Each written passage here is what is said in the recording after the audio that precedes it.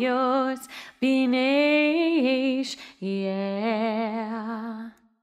One happy birthday dot com.